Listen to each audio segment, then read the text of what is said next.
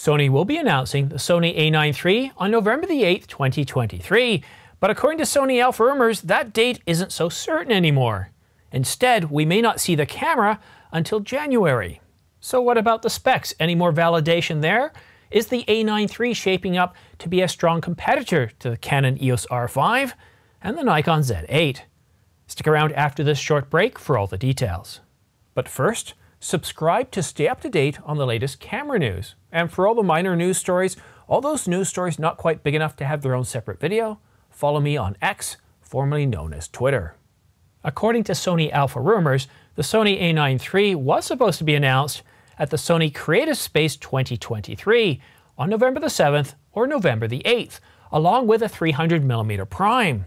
However, Sony Alpha Rumors recently stated that the A9 III may be announced as late as January of 2024. So what do we really know about the Sony A9 III? Do we know the price? Do we know the date? Do we even have any sort of validated specifications? Or are these leaked specifications instead of actually leaked specifications? Someone's forecast. And I'm, I'm getting the sense that these are forecasted specs. Now, if the camera is supposed to cost around $4,500, and that's pretty much in keeping with what we see in the previous version, so $4,500 doesn't seem all that extreme. However, the marketplace has changed since the A9 II came out. We have the Canon EOS R5 for $3,900 and the Nikon Z8 for just under $4,000. So the big question is, all these forecasted or leaked specifications for the Sony A9 III, are they better than either of those two cameras in any way? Before we answer that question, let's take a look at the latest leaked specs from the Camera Insider. While the resolution for the Sony A9 III has definitely varied, from a low of around 26 megapixels to a high of around 36 megapixels, coming from sources like Sony Alpha Rumors, Photo Rumors, and even the new camera. Then we have Digital Camera World and many others repeating what they're stating. The Camera Insider says that it's going to be around 33 megapixels, that it's going to be a stacked full frame sensor, and being a stacked full frame sensor is kind of what we expect here in 2023. But if we take a look at the competition, the Canon EOS R5, which was announced back and released back in 2020, the middle of 2020, and the Nikon Z8, which was just recently announced, both of those two cameras have 45 megapixels, and the Nikon Z8, well, it does have a stack sensor as well, although the Canon EOS R5 doesn't. The R5 Mark II is expected to get a stacked sensor. So 45 megapixels, considerably higher than what the A9 III is supposed to get, yet the A9 III is supposed to be anywhere from five to $600 more than the Nikon Z8 and the Canon EOS R5. So when it comes to the sensor in this case, it looks like the Nikon Z8 definitely has the future A9 III beat. Now, in terms of continuous still shooting, this is where we see some definite performance gains over the Nikon Z8 and the Canon EOS R5. Are you ready for this? According to the Camera Insider, the Sony A9 III is forecast to deliver 40 frames per second. That's not JPEG, that's 12-bit RAW. It doesn't say lossless RAW, but let's go ahead and assume that it is. And in 14-bit RAW, 30 frames per second. And that definitely has the Canon EOS R5 and the Nikon Z8 beat. Then again, we have very little information about those two modes. But the one thing I want to kind of focus on for a little bit here, the Sony A9 III, all Sony cameras, they do use CF Express Type A cards. And that means you're going to have, well, you're going to cap out at around 650 megabytes per second. That's sustained write. Now, Type B cards offer twice the speed. And yes, I know what you're thinking. What if these are Gen 4 Type A cards? But if we take a look at the marketplace, there's only one single company that's currently selling a Gen 4 CF Express card, and it's a Type B, giving us somewhere around 3,000 megabytes per second sustained write speed. That's pretty fast. However, if Sony does give us Type A, and the bus speed within the camera can handle that, and somebody does release a Type A Gen 4, then we will get Gen 3 speeds of CF Express Type B. But what could really boost this camera and allow it to be the fastest camera on the marketplace, the fastest mirrorless camera, is a Type B card because you can have a really fast sensor, you can have a really fast image processor, you can have a super fast bus, and everything in between double layered, stacked sensors, triple layered, double layered, doesn't matter.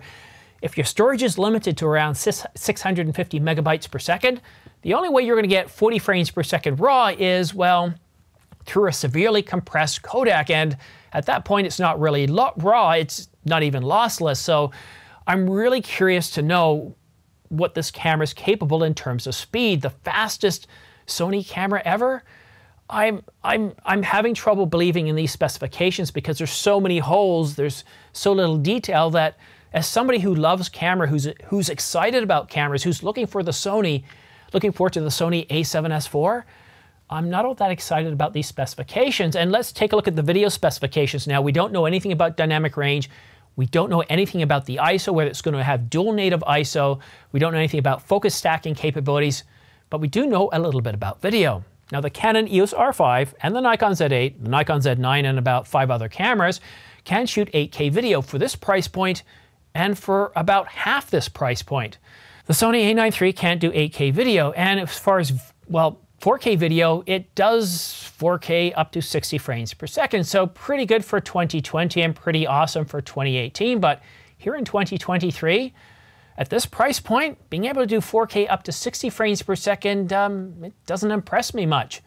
Now, in terms of 1080, 1920 by 1080, yes, we can go all the way up to 120 frames per second, but at $4,500, I really do expect 120 frames per second in 4K, and I expect full sensor readout. The Nikon Z8 can do it, the Canon EOS R5 can do it, and again, these cameras cost five to $600 less.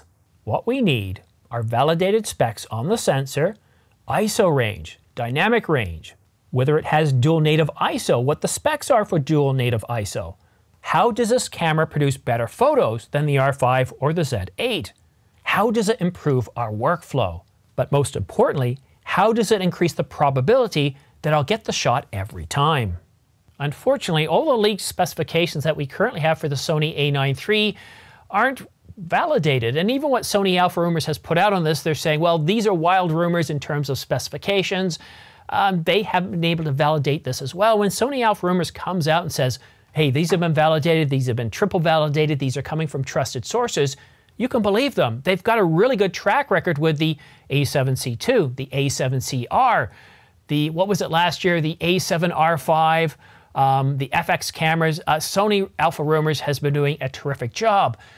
But here, these, um, we don't have a lot of details. Uh, so even if these are accurate from what Sony Alpha Rumors is saying and what the Camera Insider is saying, they don't give us enough pieces to put the puzzle piece together to understand how this camera is better than either the Nikon Z8, the Canon EOS R5, or any other camera on the marketplace, or how it is the fastest camera. Is it faster at moving information to the storage? Is it faster at shooting stills? Is it faster at autofocus. We, we just don't know. I would consider these to be conjecture at this point, and that's the sad thing about these specifications. I think of them more as a forecast, and that's why I haven't done a video on the Sony a9 III in a long time, because every single post that I see come out is either wild rumors or it's an update on existing rumors that are questionable to begin with. I really wished we could have something a little bit more specific. And if we are getting it on November the 8th, then I would expect Sony Alpha Rumors or the Camera Insider to come out with something that's coming from trusted and validated sources. And we're not seeing that. So maybe it isn't going to be coming out on November the 8th. Maybe it's not going to be coming out in November. Maybe it's going to be announced in the second week of January. We just don't know. So if you want to stay current on the Sony a9 III or even the Sony a7S IV, which Sony Alpha Rumors is saying we might get this year, then go ahead and follow me on X, formerly known as Twitter, and subscribe to this channel. So that way, as soon as I find anything out, if it's a big story, I'll publish a video right away. And if it's not so big, I'll go ahead and tweet it out. Um, and I only have one ask. If you're looking at purchasing camera gear, whether it be camera bodies, lenses, or accessories, uh, November is a really, really big month. We're going to start to see retailers are just going to be pushing, they're going to be pushing incredible sales. We're going to see a lot of incredible sales this year because what we're seeing is sales are slowing down, markets are slowing down. So what companies like to do is get out and offer really big discounts. So um, if you're looking at purchasing, purchasing anything camera related on Amazon.com, Adorama, or B&H, then please consider using my affiliate links down below because honestly, it really does help this channel grow. Uh, thanks to everybody who helped me with pre-orders yesterday because now I'm going to go out and purchase the Canon EOS RF 200 to 800 millimeter f6.3 to 9 image stabilized USM lens.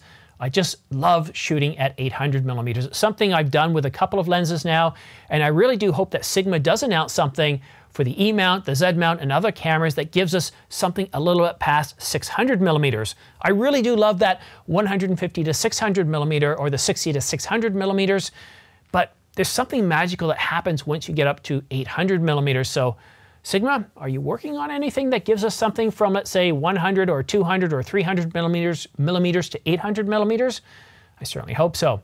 Anyhow, guys, thank you so much for watching. Have yourself a great weekend, and we'll see you again soon. Don't forget, we are having major announcements happening at the Sony Creative Space 2023. These announcements are supposed to take place on November the 7th and November the 8th. It is there is a big question though whether we're going to get the A9 III announced on November the 8th. We'll just have to wait and see. Thank you so much for watching. We'll see you again soon.